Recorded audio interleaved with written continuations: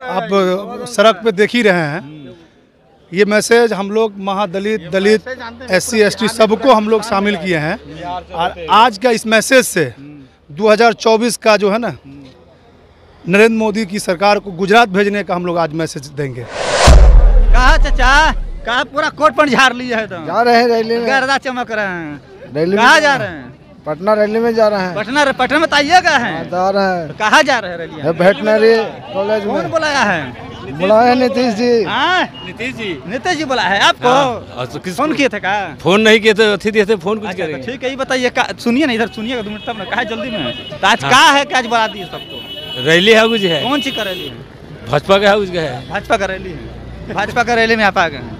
नीतीश जी को बुलाने पर। नीतीश जी बोल रहे हैं बढ़िया चीज़ है। आप कहाँ जा रहे हैं? चाची कहाँ जा रही है आप? भीम समाज में। भीम समाज में। कौन बुला दिया आपको? हमारे सीएम है जो बुलाए हैं। अच्छा क्या बोल के बुलाए हैं? कि कितने महादलित की संख्या है वो देखना चाहते हैं अच्छा। कि हमारे महादलित भाई बहन कितने हैं। हाँ। और क्या हो रहा है उनके साथ वो अपना अपना समस्या जो अपना सब बताएँगे समस्या है दलित महादलित अब तो लोग वहाँ पहुँचे उन्हीं लोग ना बताएँगे आप है ना? हम तो है हम लोग हम, लोग को तो जॉब दे दिए गन सीएम सर हम लोग तो नौकरी कर रहे हैं विकास मित्र हैं हम लोग। अच्छा। सीएम सर हम लोगों को तो खड़ा के लड़कियों के लिए भी बहुत कुछ किए हैं। तो क्या दिक्कत है जी आप लोग आप लोग जा रही है वहाँ? क्या दिक्कत है? का दिक्कत है गरीब आदमी है जगह ज़मीन के अब क्या है? बाल बच्चा है रहने का ठिकाना ये सब दिएगा। तो नीतीश जी दे देंगे। हैं? देंगे। काहे नहीं? जब जा रहे थे। ज़रूर देंगे। ज़रूर दे देंगे। नहीं देंगे देंगे गरीब के नहीं देंगे तो किन को देंगे समझे? हाँ, जी भरोसा है? हाँ, भरोसा है तब न जा रहे हैं। अच्छा तब हाँ जा रहे हैं। हाँ तब जा रहे हैं भरोसा दिए तब जा रहे हैं। हाँ। भरोसा है। हाँ। हाँ। चाचा। क्या बोलना है क्या कह रहे हैं नीतीश जी के बारे में? प्रधानमंत्री बनाइए का छोड़ना है नहीं नहीं नहीं। हाँ। कहने का मतलब ये है कि जो अभी संसद के अंदर में ये आरक्षण समाप्त। या जो है। जल्दी जल्दी बोलिए। हाँ। आरक्षण समाप्त करने की बात है पिछड़ी जाति युवा लोग है युवा लोग रुकिए रुकिए एक मिनट। कहाँ जा रहे हैं? जल्दी जल्दी बोलिए। आइए ना भैया। कहाँ जा रहे टी शर्ट तो पहन लिए भीम संसद का। कहाँ जा रहे हैं? जल्दी बोलिए। भीम संसद के मीटिंग में जा आज रहे कौन सा दिन है? आज छब्बीस नवंबर क्या मनाया जाता है देश में? छब्बीस नवंबर उतना पंद्रह अगस्त को क्या मनाया जाता है? पंद्रह अगस्त को आज़ादी का दिन मनाया जाता है। अच्छा छब्बीस जनवरी को? गणतंत्र दिवस। हाँ, आज कौन सा दिन है? आज कौन दिन है? ध्यान में नहीं। ध्यान में नहीं है? अरे महाराज कहाँ जा रहे भैया? भीम समाज में। अच्छा क्या किसके बुलावे पर आए हैं? किसके बुलावे पे अपने मन से बुलावे पर आए हैं? आज सन- संविधान दिवस है। अच्छा, संविधान दिवस। जी उसी के उपलक्ष्य में में आए हैं। जी। कहाँ जा रही हैं आप? मीटिंग में जा रहे हैं। आइए कुछ महिला भी उनसे भी कहाँ भाग रहे जी बोलिए ना जी कहाँ जा रही है? बता दीजिए। नहीं मेरा पार्टी छूट जाएगा उधर हाँ? आइए इधर चाची। वेटनरी कॉलेज हाँ? वेटनरी कॉलेज लेकिन सीधा एक किलोमीटर दूर है ये बताइए कहाँ जा रहे हैं? वेटनरी कॉलेज में जा रहे हैं। क्या करिएगा भीम संसद में। भीम संसद भीम संसद किस लिए मनाया जा रहा है? किस लिए मनाया जा रहा है? किसके कहने पर आए हैं? नीतीश कुमार के। किस समाज से आते हैं?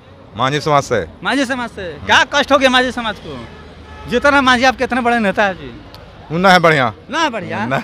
मांझी समझ कर नेता मांझी जी ना। है ना है। ना है हाँ, कुमार को प्रधानमंत्री बनाना है इसलिए हम लोग पटना आए हैं। हाँ, हाँ। तो बना देंगे हम लोग जनता में बनाता जाएँगे बीजेपी में तो। जनते बनाता है। जाएगा जाएगा फिर। जाएगा, जाएगा। तो जाएगा। देखेंगे हम लोग। हाँ? एक बार प्रधानमंत्री सकल में उसको देखेंगे उसको। नीतीश कुमार हाँ नीतीश कुमार जी को। जी बना देंगे हम लोग। हाँ। कहा जा रहे हैं जी हम लोग उसी का संसद हैं समारोह में। आज कौन सा दिन है? आज वो संविधान दिवस है आज। संविधान दिवस जी। बहुत बढ़िया। कौन सा दिन है? संविधान दिवस संविधान दिवस है। ये बताइए क्या करने जा रहे हैं वहाँ मिलन समारोह है। मिलन समारोह है। किसका?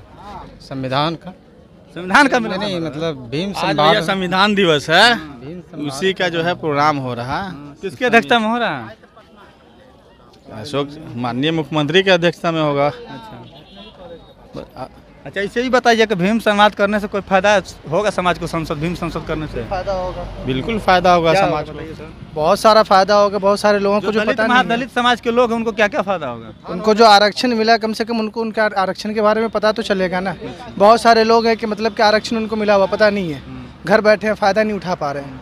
तो जब उनको पता चलेगा कि हमारे हक में गवर्नमेंट क्या कर रही है तो उससे फ़ायदा उठाएँगे लोग।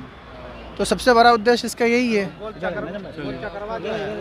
और और बताइए आप आप भी वही जा रहे हैं?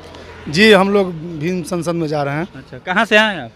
हम बेसिकली दरभंगा से हैं। क्या नाम हुआ आपका? इरशाद रहमानी। अच्छा चलिए यहाँ पर जाकर क्या मैसेज दीजिएगा देखिए समाज को? ये मैसेज तो आप सड़क पे देख ही रहे हैं।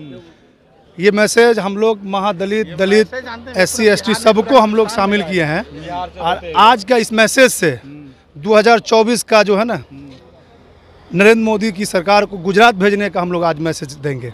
चलिए तो आज नरेंद्र मोदी की जो सरकार है, इन लोगों का साफ़ तौर पे कहना है कि 24 में नरेंद्र मोदी को गुजरात भेजने का काम करेंगे और भीम संसद में लोग आए हुए हैं। इन लोगों का साफ़ तौर पे कहना है कि दलित, महादलित का उत्थान के लिए है जो आरक्षण मिला है, उसका सही इस्तेमाल कैसे किया जाए, ये आज बताया जाएगा भीम संसद के माध्यम से, जिसकी अध्यक्षता माननीय मुख्यमंत्री नीतीश कुमार कर रहे हैं। तो इस पर आप क्या सोचते हैं, आपकी क्या प्रतिक्रिया है? कमेंट में जवाब ज़रूर दीजिएगा। तब तक के लिए बहुत बहुत धन्यवाद।